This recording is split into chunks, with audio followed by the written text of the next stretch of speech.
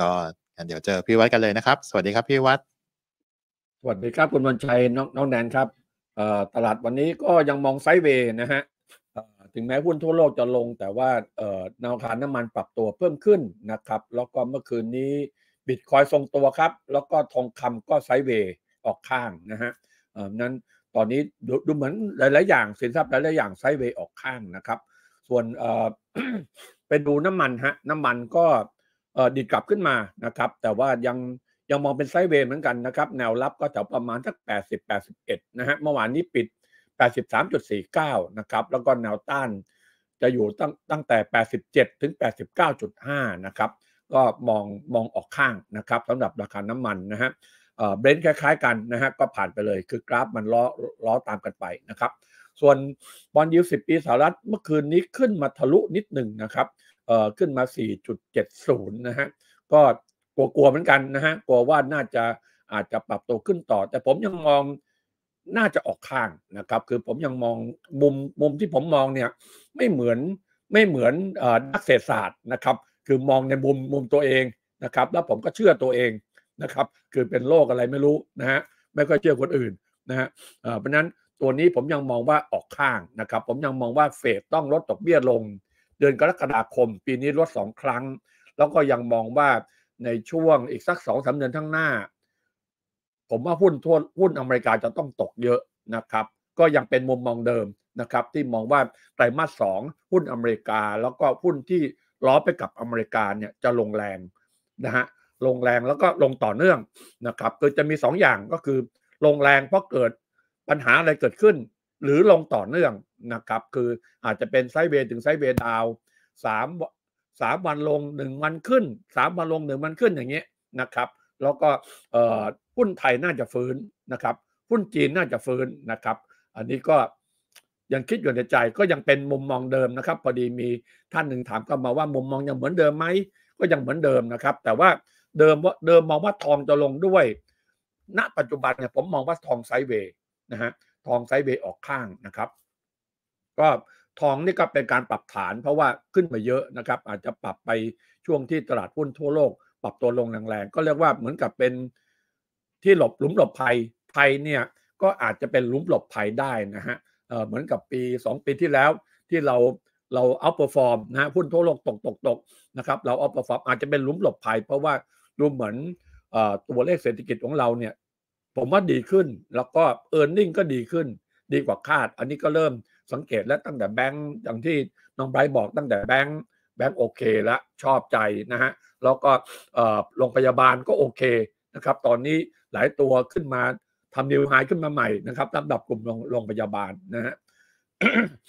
ตอนนี้คนก็เป็นเป็นหวัดกันเยอะฮะผมก็เป็นฮะเนี่ยเสียงมันจะไม่รู้ไปไหน มุดลงเรื่อยเลยนะครับเอ่อเพลียนิดนึงนะฮะ ก็ไม่ทราบเหมือนกันว่าเป็นอะไรนะครับมาดูดอลลาร์ดีกว่าฮะดอลลาร์อ่อนลงนะฮะเออก็แปลกเหมือนกันนะฮะดอลลาร์อ่อนค่าลงนะครับร้อยห้าจุดหกศูนย์นะครับก็ไซด์เวย์ฮะกรอบแนวรับ104.8นะฮะกรอบแนวต้านก็106.5นะครับสำหรับดอลลาร์นะครับบาทเราก็อ่อนไปนิดนึงนะครับ37นะฮะเออเมื่อเมื่อวานนี้ก็ระหว่างเทรดขึ้นไปแตะ 37.19 นะครับ เกือบถึง 37.2 แล้วก็ส่งตัวที่ 37 บาทนะครับ ส่วนทองคำฮะทองคำยังมองเอ่อมองถ้ามองไกลๆ ก็ยังมองเป็น sideway up นะครับวันนี้ผมมองเรื่องของกระแส de-dollarize รุนแรงขึ้นนะครับ ก็อย่างที่ผมบอกนะครับ ตอนนี้หนี้สาธารณะของอเมริกา 34.5 ล้านล้านเหรียญนะครับ ดอกเบี้ยอเมริกาที่จะต้องจ่ายต่อปีนะฮะสำหรับไอการ roll over พวกบอลต่างๆ บอลที่อันใหม่เนี่ยนะครับ ตอนนี้ล่าสุดดอกเบี้ยแตะแล้ว 1 ล้านล้านเหรียญนะครับ ผมก็มองว่าจะไป แล้วก็ผมผมไม่ได้มองว่า GDP ไตรมาสหนึ่งเนี่ยมันแย่กว่าคาด ผมมองว่าแย่ตามคาดนะฮะผมมองว่าแย่ตามคาด แล้วเพราะว่าเอ่อผมมองว่าในอเมริกาเนี่ยตัวเลขที่เราดูดูกันเนี่ย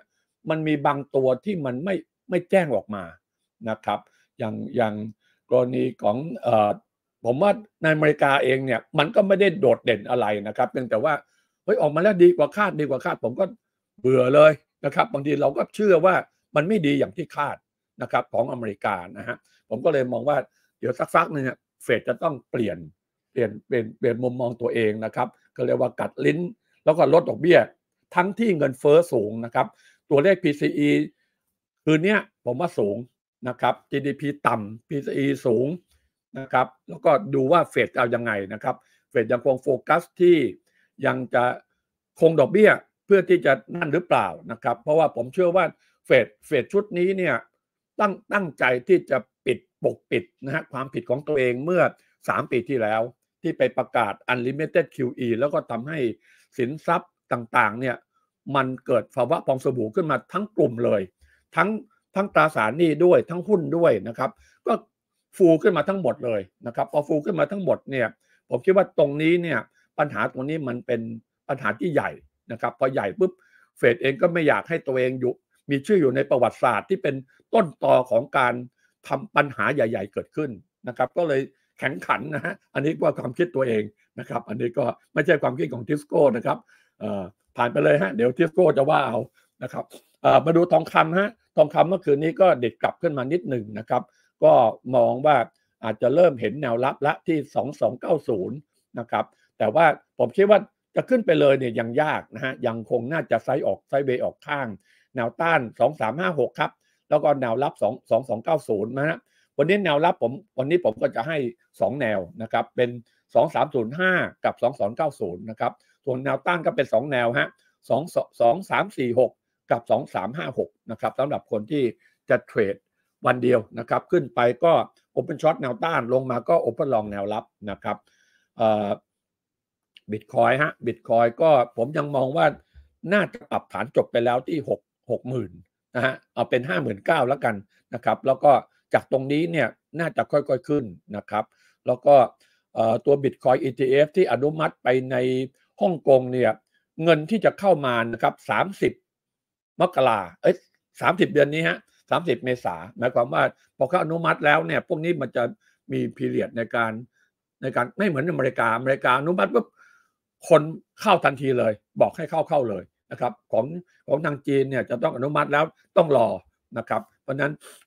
ผมก็เลยมองทรงๆนะครับ ก็รอดูดีมานของทางจีนว่าต้องการซื้อบิตคอยกันมากน้อยเท่าไหร่นะครับ คนจีนนี่ นักพนันนะฮะคือไม่แพ้อเมริกาเหมือนกัน คือพนันกันทั้งโลกกับผมว่านะครับ นักพนันกันทั้งโลกนะฮะบิตคอยฮะเมื่อคืนนี้ก็ลงระหว่างเทรดลงมา ผมให้แนวรับหกหมื่นสามนะครับ แต่ผมบอกว่าเวลาหลุดเนี่ยต้องหลุดไปเลย หลุดไปหลุดทีพรวดลงไปเลย ไม่ใช่หลุดหาง เมื่อวานนี้หกหมื่นสามนี่ลงมาแค่ จบภายในสามสิบนาทีนะฮะลงมาปุ๊บลากขึ้นเลยนะครับ แรงซื้อเข้าทันทีนะครับ เพราะนั้น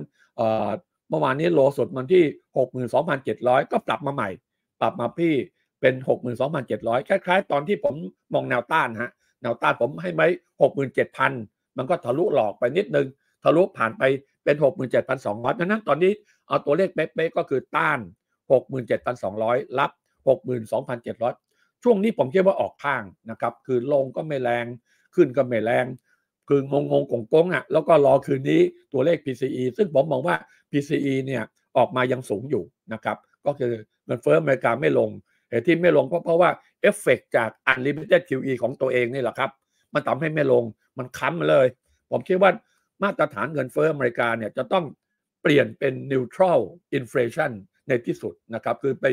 ยอมรับเงินเฟ้อที่สูงไปเอง เพราะว่าตัวเองทำไว้นะฮะแล้วส่วน หุ้นทั่วโลกครับ อเมริกาเริ่มลงนะฮะ อเมริกาเริ่มลง ซึ่งอันนี้ผมบอกแล้วว่าสัปดาห์นี้เนี่ยผมมองทั้งสัปดาห์เนี่ยหุ้นทั่วหุ้นอเมริกาหุ้นที่ตกมาเยอะๆเนี่ยอเมริกาญี่ปุ่นไต้หวันนะครับเกาหลีแล้วก็ทางยุโรปมันน่าจะขึ้นทั้งสัปดาห์ แล้วค่อยไปลงอาทิตย์หน้านะครับวันนี้ก็เลยเห็นเริ่มเห็นแล้วฮะเริ่มเห็นเริ่มลง แต่ผมมองว่าจีนน่าจะเริ่มฟื้น แต่ก็จีนมันก็ฟื้นนะฮะแต่ยังฟื้น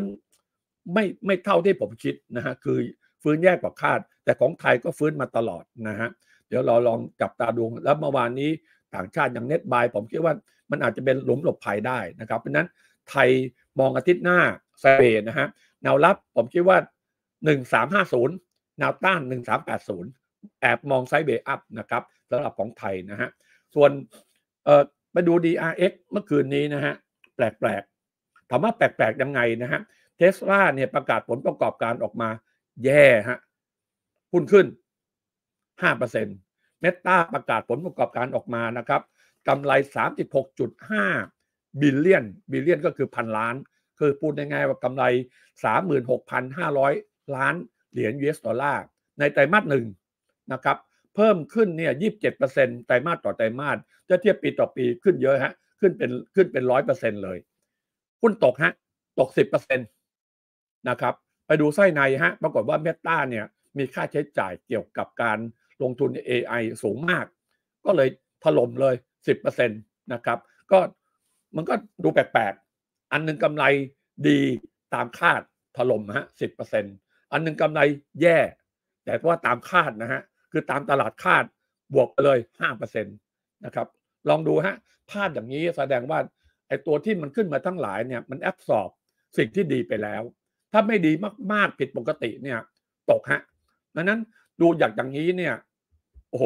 ขึ้นยากละตกง่ายสำหรับกลุ่ม AI ในในอเมริกานะครับ ก็ระมัดระวังหน่อยนะครับ ส่วนเมื่อเมื่อคืนนี้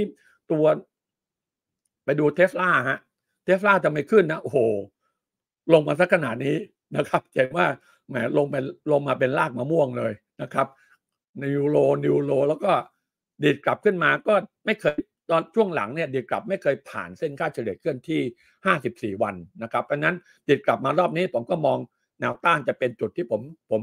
เอ่อแลเป็นสีแดงๆไว้นะครับ ก็ผมผมไม่ไปไหนแล้วก็น่าจะออกข้าง เพราะว่าตกมาเยอะนะครับ ไม่ใช่ว่าเพราะมันอะไรดีมากมายอะไรนะฮะแล้วก็ส่วนไปดูเมตาบ้างโอ้โหฝังเขาเรียกว่าเอ่อเผาทับเลยนะฮะเผาเผาทับซูมาอี้เลยนะครับ ก็คือนึกถึงตอนอตอนซูมาอี้กับลูกๆนะฮะถูกถูกของเบ้งหลอกไปเผานะฮะแต่ตอนนั้นตอนนั้นไม่เป็นไรนะครับ เพราะว่าตระกูลซูมาอี้ที่สุดแล้วเป็นต้นต้นตระกูลของราชวงศ์ราชวงศ์ฉินมั้งฮะนะครับฉินหรือจิ้นเนี่ยราชวงศ์จิ้นนะโทษครับฉินเขาเขาเอ่อนานนะฮะอันนี้ลองดูนะฮะคนที่ซื้อมาตั้งแต่กุมภาพันธ์นะฮะถึงถึง ถึงก่อนเมื่อวานนี้ ตายหมูฮะพอเปิดมากระโดดลงทันทีนะครับ เพราะนั้นตอนนี้เนี่ยก็มองลงนะฮะแต่ว่าลงไม่เยอะละลงมาก็แนวรับประมาณ 400 แนวต้านก็ประมาณ 480 นะฮะก็เรียกว่าภาพนี้ก็เรียกว่าขึ้นมาเนี่ยคนที่ซื้อมาตั้งแต่ 4 เดือนที่แล้ว 3 เดือนที่แล้วเนี่ยหนาวหนาวร้อนร้อนฮะอยากจะออกละเดิมก็มองว่าจะมาจะไปบูนละไปไกลไปนู่นไปนี่นะครับ อยากจะ ตอนนี้ไม่ละฮะผมว่าขึ้นมาเนี่ยบางทีเท่าทุนขาดทุนนิดหน่อยไปละ เพราะฉะนั้นภาพตัวนี้เนี่ยก็อันตรายนะครับแสดงว่าหุ้นอเมริกาเนี่ยมันถึงจุดที่เรียกว่าแอบสอบมันมันแพงไปละพูดง่ายๆนะครับ แล้วก็ถ้ามันจะดีมันต้องกำไรดีกว่าคาดเยอะๆนะฮะซึ่งอันนี้ก็ผมก็เลยมองว่าเเดือนหน้าไม่น่าจะรอดนะครับคิดว่าภาพพวกนี้นักวิเคราะห์ในอเมริกาก็มองเห็นนะฮะ ไปดู DR บ้างนะครับ DR เมื่อวานนี้ระหว่างเทรดเนี่ย ผมก็แอบดีใจนะฮะ มันมีตัวอาลีบาบากับไปโต้ขึ้นมาในในอเมริกานะครับ ขึ้นมาทำนิวไฮในรอบ 7 วันนะครับ แต่ว่าปิดไม่ค่อยสวยฮะ ปิดมาก็ถอยลงนะครับ คือระหว่างเทรดเนี่ยขึ้นไปถึง 3%แล้วก็ปิดเนี่ยบวกไปแค่ 0.6%ผมก็มองแบบผิดหวังนะครับสำหรับ DR สรุปแล้ว DR DIX ค้างไว้ก่อนนะครับ ผมว่าหุ้นไทยกับ เริ่มน่าสนใจกว่านะฮะมาดูหุ้นไทยครับ เมื่อวานนี้ก็ขึ้นมาปิด 1364 นะครับ ผมมองแนวรับวันนี้ก็ 1360 1355 ก็คือลงลงไม่เยอะนะครับ แต่ว่าขึ้นไม่มากฮะ ขึ้นผมให้แค่แนวต้าน 1370 1375 ก็เรียกว่าบวกลบ5ถึงบวกลบ10 นะครับสำหรับตลาดหุ้นไทยวันนี้นะฮะ แล้วก็สัปดาห์หน้ามันเนื่องจากว่า เป็นช่วงที่หุ้นทั่วโลกน่าจะไซเวดาวนะครับ บวกกับวันพุธหน้าเนี่ยเป็นช่วงที่เราปิด เราก็จะเปิด 4 วัน ผมก็เลยมองว่าสัปดาห์หน้าเนี่ยดูแล้วตลาดน่าจะไซเวแล้วก็เลือกเล่นเป็นรายตัว ตัวที่เล่นน่าจะเป็นตัวตัวใหญ่อาจจะเล่น ถ้าเกิดแรงซื้อมันเข้าในการ short covering แต่ตัวเล็กเนี่ยน่าจะน่าสนใจกว่านะครับ ก็เลยวันนี้หุ้นที่ pick ออกมาก็จะเป็นตัวเล็ก 2 ตัวนะครับ เดี๋ยวเราก็เข้าไปดูนะครับ ส่วน SET fifty นะฮะ SET fifty ก็เมื่อวานนี้ปิด 836 นะครับ แนวรับวันนี้ก็ตามที่เขียนนะฮะ แนวรับ 833 829 แล้วก็แนวต้านก็ 839 843 นะครับ ก็มอง sideway เหมือนกันนะฮะ ก็คล้ายๆกับตัว SET index นะครับ ส่วนหุ้นที่เชียร์วันนี้ตัวแรกฮะ FORTH FORTH FORTH เนี่ยผมจำได้ว่าเชียร์มาเชียร์มาเอ่อน่าจะหนึ่งถึงสองครั้งละ ในช่วงสองสัปดาห์ที่ผ่านมานะครับคือมีการเชียร์ไปแล้วเชียร์ไปแล้วมันไม่ขึ้นนะครับเชียร์ไปแล้วมันถอย แต่ว่ามันลงลงแล้วเนี่ยสัญญาณมันไม่เสียนะครับแล้วอันนี้ก็ผมก็ดูเป็นรายวิกฤตปรากฏว่าวิกฤตเนี่ยมันยืนเหนือเหนือ 15.7 เนี่ยเหนือมาทั้งหมดเนี่ยโอ้โหเดือนกว่าละ ผมก็เลยมองว่าตรงนี้น่าจะเป็นฐานนะครับ น่าจะเป็นฐานพอพอเรามองน่าจะเป็นฐานก็กลับไปดูในรายเดย์ว่ามีสัญญาณ บวกหรือไม่ก็มีฮะมีสัญญาณบวกเกิดขึ้นนะครับสังเกตว่าเมื่อวานนี้ก็ปรับขึ้นมาทำนิวไฮในรอบในรอบ 5 วันนะครับตอนนิวละห้าวัน สัญญาณทางเทคนิคเนี่ยเริ่มเป็นบวกมากขึ้นเรื่อยๆนะครับ เราดูจากตัวดอทข้างล่างนะฮะที่ของลุงฉลกที่ทำไว้นะครับ เห็นว่าเมื่อเมื่อวานนี้พอปิดขึ้นมาเนี่ยทั้งที่ปิดขึ้นไม่เยอะนะฮะมันเป็นการเปลี่ยนตัวบูแบลริบบอนเป็นครั้งแรก เห็นไหมฮะเพิ่งเป็นเขียวแรกนะครับ ผมก็เลยมองว่าตัวนี้เนี่ยถ้าขึ้นจะขึ้นแรงจะขึ้นจะขึ้นแรงนะครับ แต่ถ้าไม่ขึ้นก็คือ sideway ออกข้าง แล้วก็ข้อดีคือจุดจุดที่ stop loss จุดจุดที่เราจะแบบมอบตัวเนี่ยมันมันอยู่มันอยู่ค่อนข้างจะจะเห็นชัดก็คือต่ำกว่า 16เนี่ยเลิกนะครับสมมติเห็น 15.9 แล้วก็เห็นเวลาเห็นต้องเห็นต้องหลุดหลุดเป็นชั่วโมงนะครับ ไม่ใช่หลุดแป๊บหนึ่งก็ ก็ไปขายเลยไม่ใช่นะฮะ พวกนี้มันต้องรอรอแป๊บหนึ่งมันไม่ใช่ว่าพอหลุดหนึ่งวินาทีข้าพเจ้าก็ทุบทิ้งแล้วไม่ใช่นะฮะรอนิดหนึ่งรอให้มันหลุดจริง ๆนะครับ บางครั้งมันหลุดหลอกนะฮะมันนั้นตัวนี้ก็มองไซด์เวย์อัพนะครับแนวต้าน 17.6 ไม่ค่อยแข็งนะฮะแนวต้านแข็งๆจะอยู่ที่ 18.5 นะครับสำหรับตัว FORTH ก็แนะนำซื้อเก็งกำไรเหมือนเดิมนะครับสำหรับตัว FORTH นะฮะฐานดูแข็งแรงขึ้นนะครับ แต่แล้วตัวตัวนี้ก็ยัง oversold อยู่ด้วยนะครับ เพราะว่าตกมาเยอะแล้วยังไม่ค่อยขึ้นในระยะกลางนะครับ แล้วเราดูการลงก็ลงมาเรื่อยลงมาเรื่อย ๆ เลยนะครับคล้ายๆเทสลาเลยนะฮะแต่ว่าลงเยอะกว่าเทสลาเยอะนะฮะแล้วก็ oversold นะครับ เพราะนั้นตัวนี้ก็แนะนำเชียร์ซื้อเก็งกำไรนะครับ อีกตัวหนึ่งแต่ตัวนี้แอบที่จะโอเวอร์บอทนะครับก็คือเอ่อเป็นตัวที่ทำ ITC ฮะนะครับ iTel Corporation นะฮะ ตัวนี้ก็ทำ IPO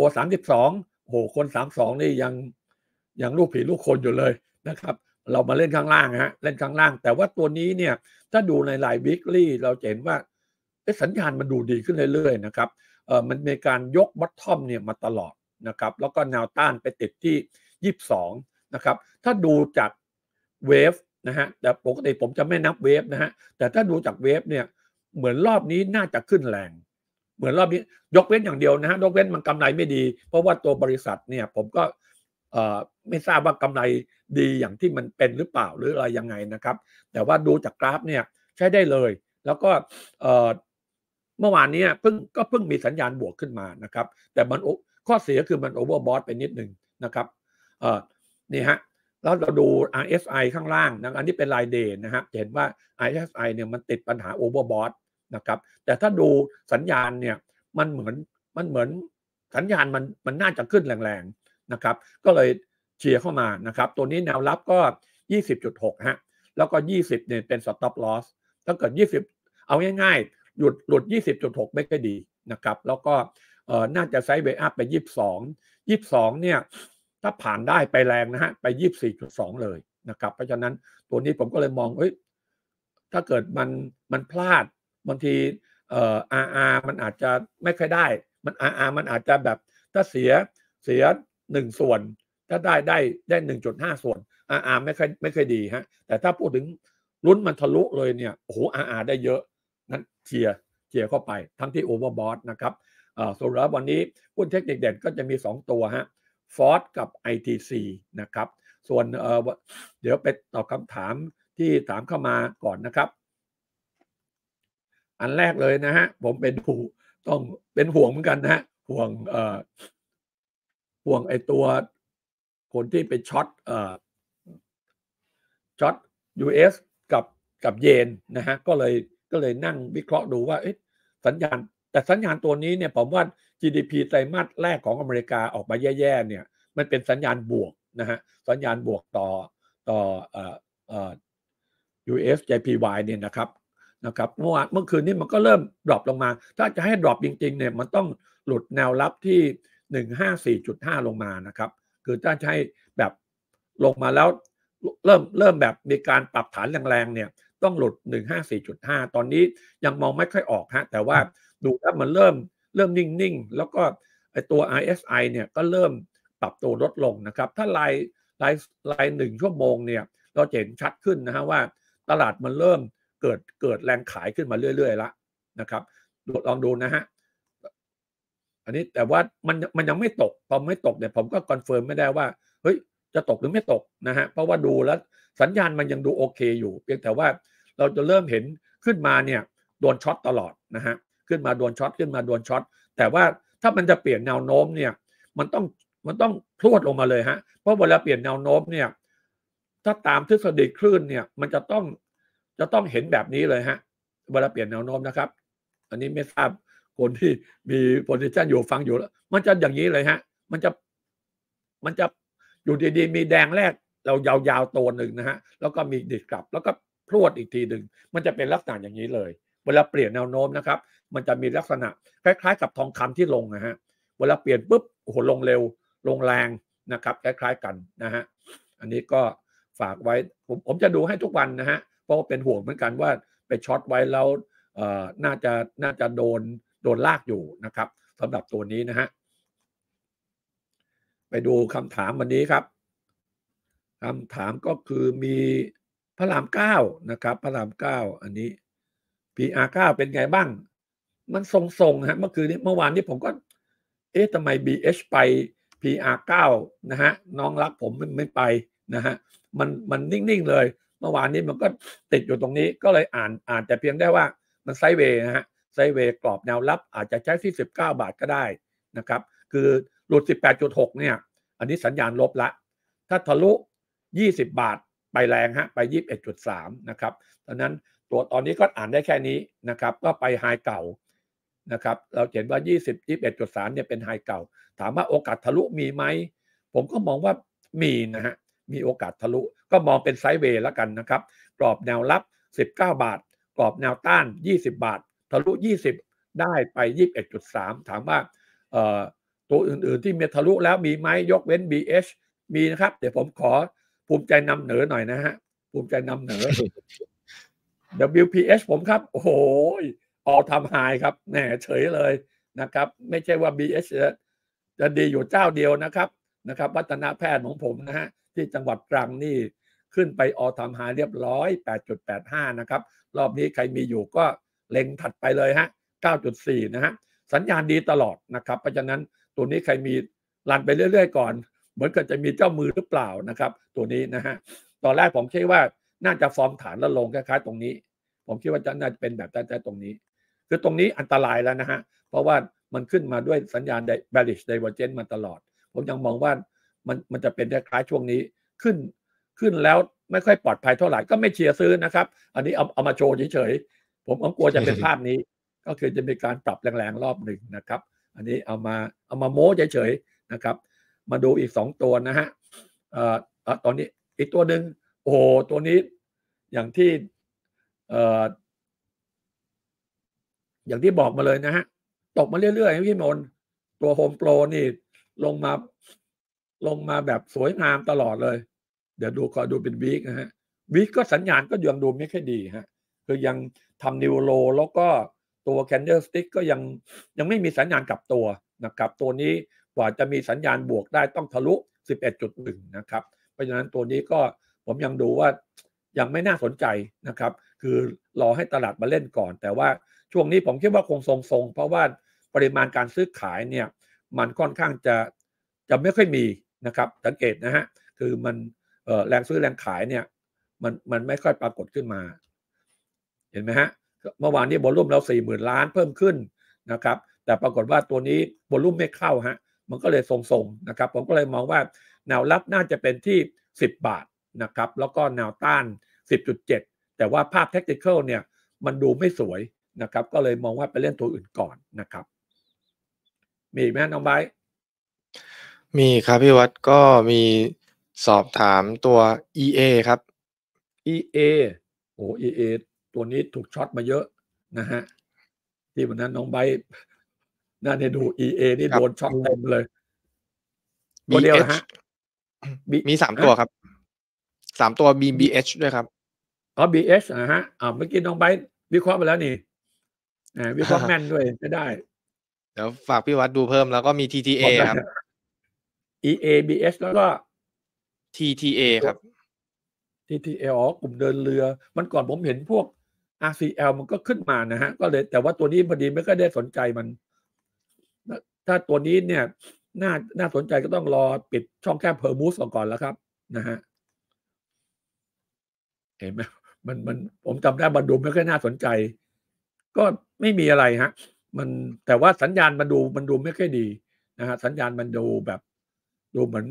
เหมือนขึ้นมาแล้ว sideway down นะครับ แล้วก็ไอ้ตรงแนวรับ ตอนนี้มันเหมือนหลุดแนวรับมานิดๆเนี่ยแต่ผมมองว่ามันยังไม่ค่อยไม่ค่อยชัดเจนนะฮะคือคืออย่างแนวรับตรงเนี้ยมันมีสิบหกจุดหนึ่งมันก็ปิดแถวหกจุดหนึ่งพอดีนะครับ แต่ระหว่างเทรดมันหลุดมานิดๆนะฮะเราอาจจะใช้อย่างนี้ครับ ถ้าเราเจอปัญหาหุ้นที่มาลงมาอย่างนี้ เราอาจจะใช้จุดนี้เป็น stop loss ก็คือโลที่ 6 บาท เป็น stop loss ไปเลยนะครับ แต่ถ้าดูอย่างนี้ผมก็น่าจะไปเล่นตัวอื่นก่อนนะครับ มันมันดูเหมือนกับ ถ้ายังยังไม่มียังไม่น่าสนใจนะฮะแล้วก็ถ้าหลุด 6 บาทเนี่ยมันถึงจะลงแรงหน่อยนะครับ ส่วนแนวต้านเนี่ยมันจะเป็นที่เส้นค่าเฉลี่ยเคลื่อนที่ 2 เส้นนี้เลยฮะ เส้นสีฟ้าอันหนึง เส้นสีแดงอันหนึง เส้นสีฟ้ามันอยู่ใกล้ๆฮะ อยู่ใกล้ๆก็ประมาณเอ่อบริเวณ 6.3 28 นะฮะ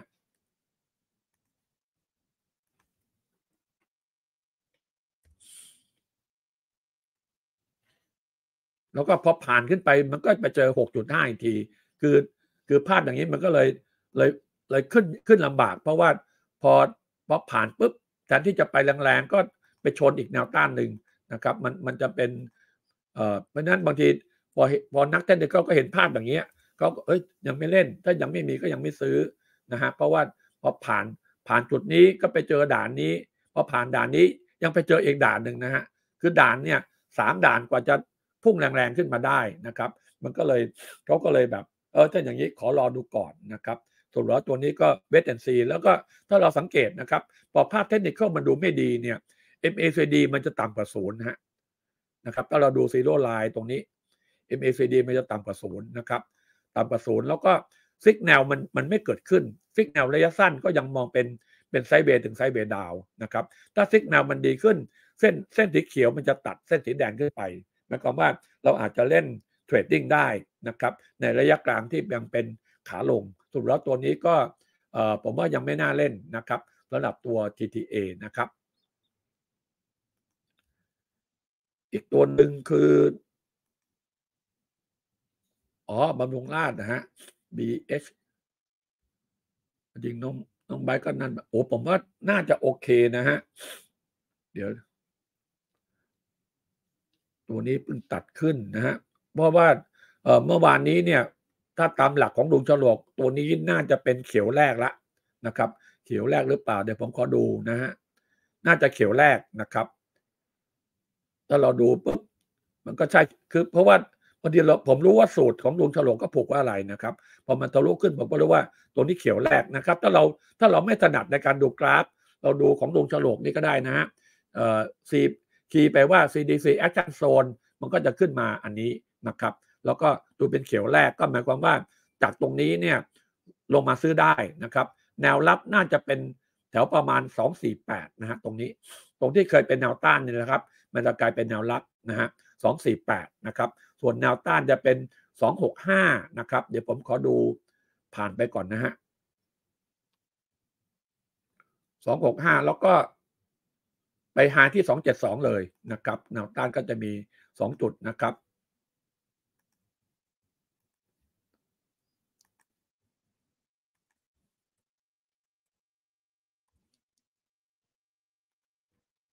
แล้วก็ส่วนแนวต้านเมื่อเมื่อวานนี้เนี่ยอาจจะเป็นแนวต้านสำคัญนะฮะเดี๋ยวผมขอดูในไลน์หนึ่งชั่วโมงว่ามันมันมันเทสกี่หนฮะผมว่าตรงนี้ตรงไฮสองหกห้าเนี่ยยังไม่ค่อยแข็งแรงนะครับก็เรียกว่าเป็นเป็นวิกไฮนะฮะเพราะนั้นเอ่อไฮตรงนี้อาจจะเป็นแนวต้านชั่วคราวนะครับ ผมคิดว่าถ้าขึ้นเนี่ยมันน่าจะไซด์เวย์อัพไปที่ 272 นะครับ แล้วก็แนวรับอยู่ที่ 248 นะฮะ 248 กับ 240ฮะ240 เป็นบริเวณแก็บที่เปิดเปิดทิ้งไว้ตรงนี้นะครับแนวรับ 240 248นะครับส่วนแนวต้านก็ 265 272นะครับมองเป็นไซด์เวย์ถึงไซด์เวย์อัพกับสำหรับตัว BH นะฮะครับ ตัวท้าย EA ครับพี่วัดอ๋อ EA เดี๋ยวแป๊บหนึ่งครับ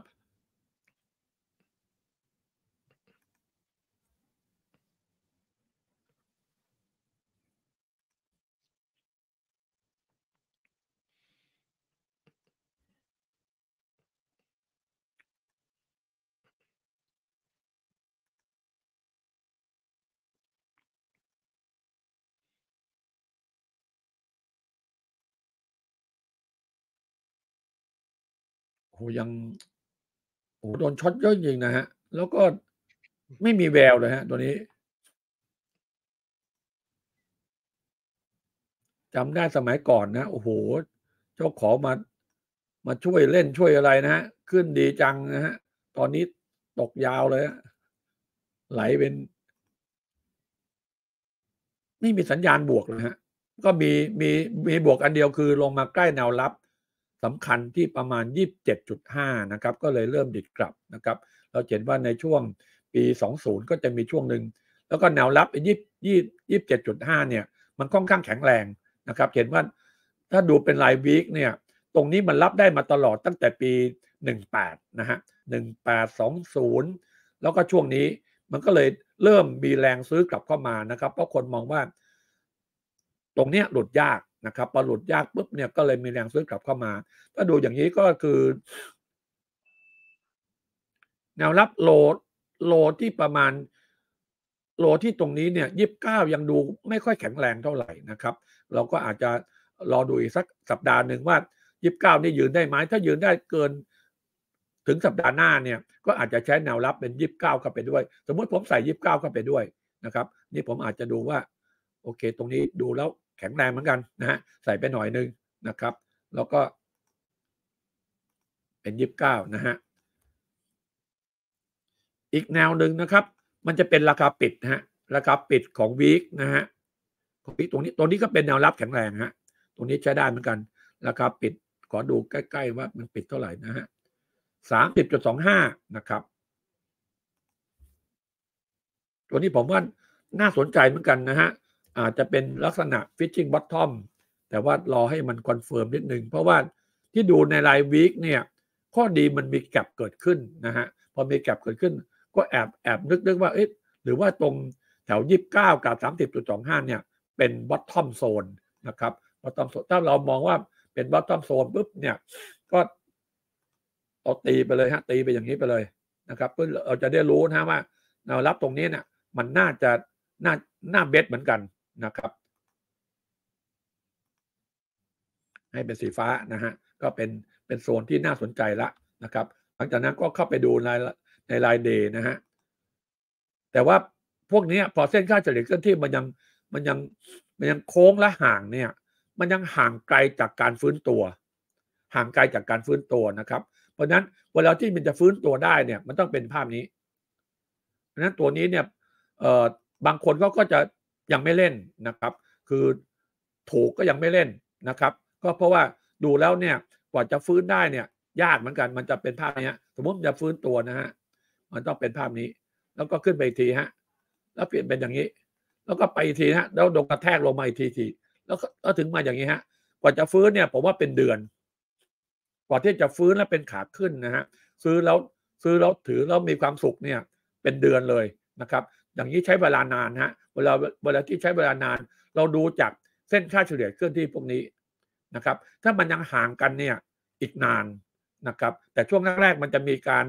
ฝ่าด่านขึ้นไปนะฮะแต่ฝ่าฝ่าขึ้นไปแล้ว มันจะถอยลงมาใหม่เพื่อที่จะให้เส้นพวกนี้มันมันเรียงตัวกันสวยงามนะฮะเราลองดูลองดูเวลาที่จะฟื้นตัวนะครับ เดี๋ยวผมลองกลับไปดูช่วงฟื้นตัวนะฮะอย่างอันนี้ยังไม่ค่อยยังยังยังไม่ใช่นะฮะถ้าช่วงฟื้นตัวเนี่ยมันต้องต้อง ต้องเรียงกันให้สวยก่อนนะฮะโหยากหา ต้องไปหาอันอื่นอันคล้าย ๆ อย่างนี้ฮะอันนี้อันนี้อาจจะเป็นตัวอย่างไม่ค่อยดีนะครับเพราะอันนี้ อันนี้มันตกมาเร็วนะครับสังเกตพอมันห่างเนี่ย มันขึ้นไปนะฮะแล้วมันถอยมาใหม่ขึ้นไปถอยมาใหม่กว่าจะฟื้นตัวเนี่ย จากตรงนี้มาตรงนี้สองเดือนกว่า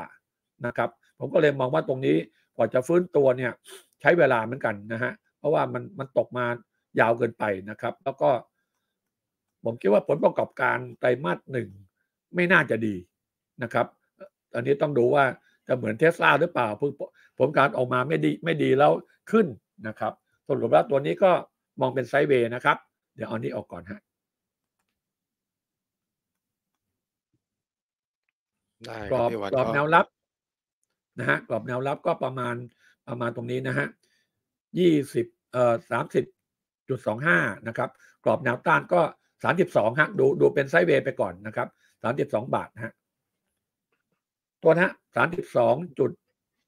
จุดห้าศูนย์นะครับสามสิบสองจุดห้าศูนย์ครับน่าจะครบถ้วนแล้วครับพี่วัดก็เอ่อมีถามว่าไทย SG มีกองไหมนะครับ มีนะครับ ชื่อ TIS ESG ขีด A นะครับ หรือ TIS ESG ขีด A นั่นเองนะครับ ก็วันนี้น่าจะสมควรแก่เวลานะครับพี่วัดใกล้สิบโมงแล้ว เดี๋ยวไง เดี๋ยวเราสองคนขอลาไปก่อนนะครับ สวัสดีท่านผู้ชมทุกคนครับ สวัสดีครับ